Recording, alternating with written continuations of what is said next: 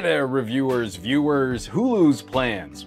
Better than ever. What used to be kind of a mediocre cloud TV package, now one of the strongest options available. Thanks to some strategic bundles and partnerships, Hulu plus Live TV has the goods for a whole family of viewers and modular plans can tack on fun extras for premium channels. But the world of cord cutting isn't quite as cheap as it used to be. While Hulu is a strong player against other options, is it the right fit for your cash?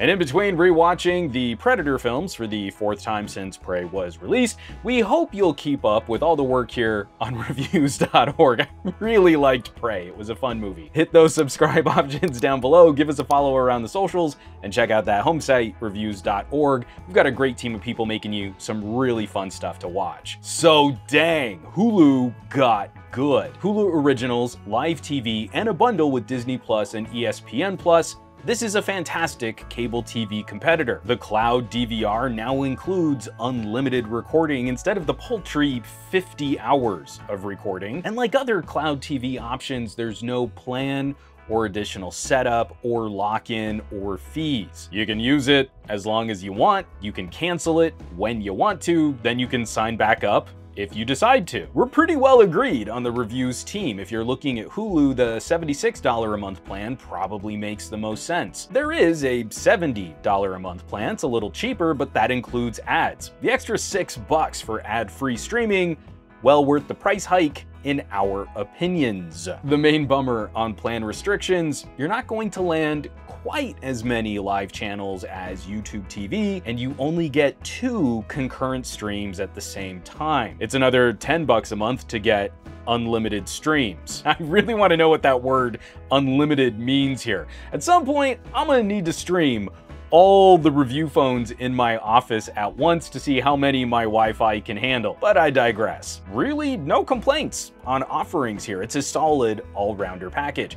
I think YouTube TV is a little stronger for sports with NBA and MLB. YouTube also has PBS, but the flip side, of course, is getting Disney Plus and ESPN Plus included in the price.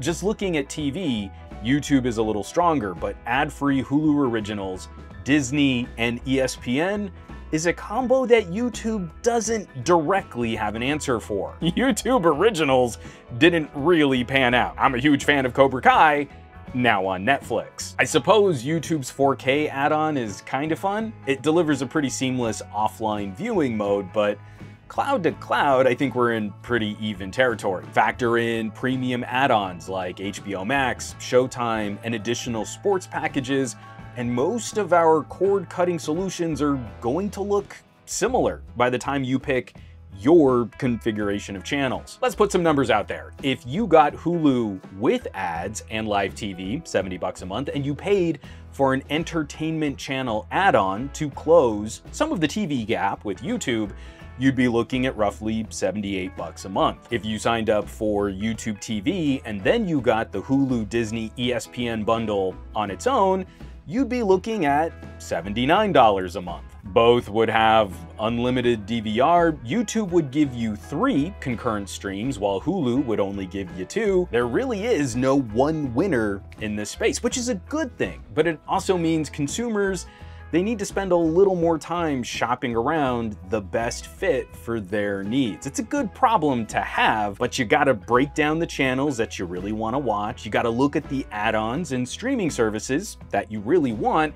And then also, I think we all need to get into a better habit of cycling the streaming platforms that we aren't using. My wife and I, we're getting better at subscribing to services per month and then turning them off when we're done with specific shows. Now, it's kind of funny, but there's really no reason why you can't turn live TV into a more seasonal experience too. One of the big draws for live programming is sports, but that landscape is insanely complicated now and a live TV package really won't cover most fans' needs anyway. Just last week, we did a video on NFL Sunday Ticket trying to get all your football needs met with one streaming package doesn't seem completely possible. In conclusion, well done Hulu. This is a much stronger offering, and consumers always benefit from better competition. And you know this is legit when YouTube is calling out Hulu directly on their sign up page. So we want to hear from you. How are you watching TV these days? Are you looking at mostly on demand or streaming services? Are you using a cloud DVR? Or do you just wait for a whole season to finish and then just binge it like a Netflix show? Drop us the fun hot takes in the comments below. And to dig a bit deeper, we have a great write up on Hulu plus live TV on our home site, reviews.org linked below in the description. As always, thanks so much for watching, for sharing these videos, and subscribing to the channel for reviews.org. I'm Juan Carlos Bagnell, aka Some Gadget Guy, and I will catch you all on the next video.